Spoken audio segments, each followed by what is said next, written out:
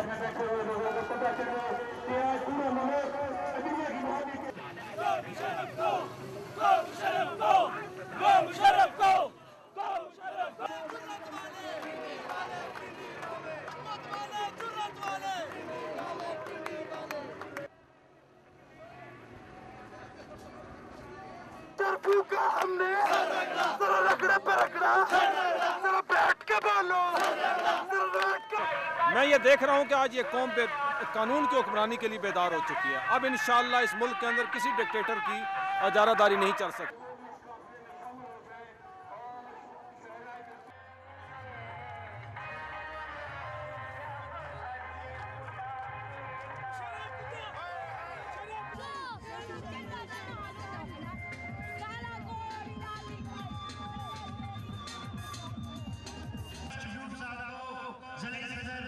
شیخ پورا میاں